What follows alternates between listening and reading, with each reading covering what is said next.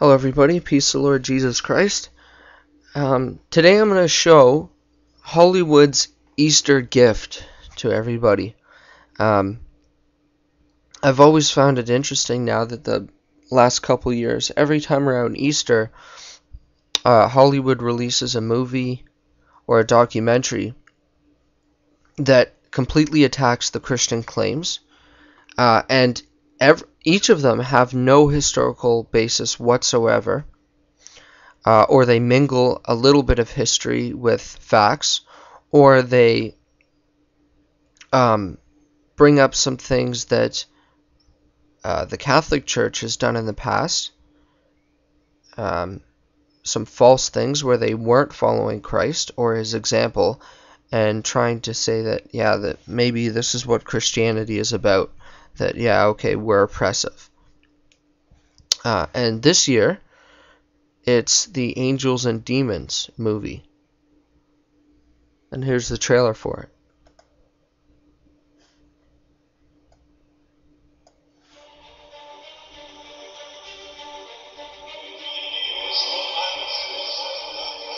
Hundreds of thousands are gathered in St. Peter's Square for conclave. It is on this night, in Vatican City, that an ancient ritual is taking place. The new pope is yet to be selected as we see the black smoke coming from the chimney of the Sistine Chapel. The entire world is watching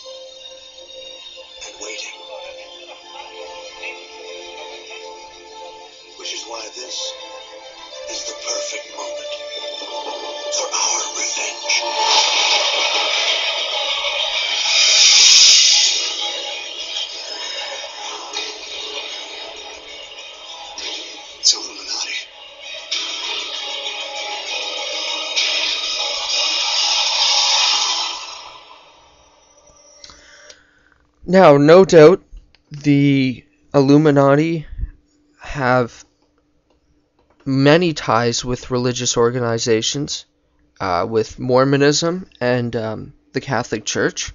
But for anybody who is a Christian, that is uh, Catholic or Mormon, and they do follow Christ, they know that Jesus Christ is our leader, not a pope, not a pastor, not a bishop, not a priest, not a reverend, any of that. They are not our leaders. Christ is our leader. What they do is they give the message and they teach it to people. But it's our duty as believers to look at what they're teaching, to read the scriptures with them to see if what it's saying agrees with what they are saying. And if it's not, well, then there's no need for us to be listening to them. Uh, this movie actually looks pretty good. Um, you know, and uh, you, it's just up to the Christian to be able to give a good defense. Like with the Da Vinci Code, it's been completely debunked on YouTube. You can see people people's videos against it, like Zeitgeist, so that's been completely debunked and refuted.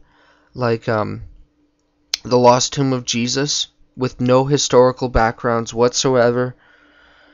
Uh, they almost made archaeology look like a wild treasure hunt with that movie or that documentary.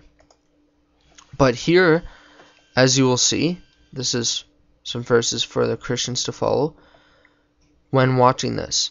But make sure in your hearts that Christ is Lord.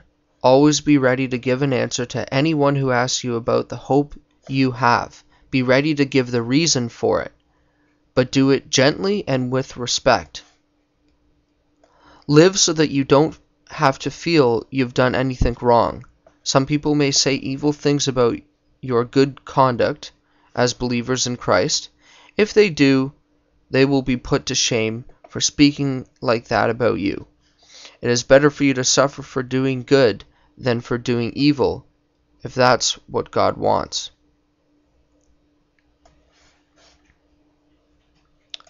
So, as you see,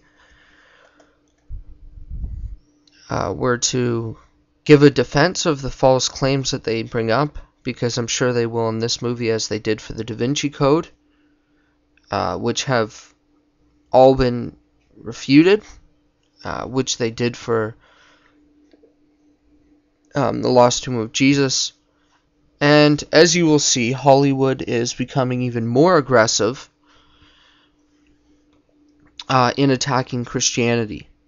And you know, it's funny that that they're going to do that, and they're going to say that okay, yeah, we're immoral or whatever their claims are, when Hollywood is the last place you, you want to go for your morals.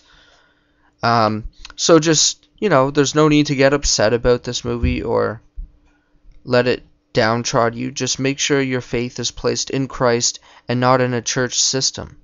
Because as you see in the past, they did not follow Christ or his teachings. They messed up big time. This is, in fact, where Satan entered the church, just as he did um, in Jesus' day with the the temple. You have to drive those those people out that aren't following Christ, and this is what the Reformists did.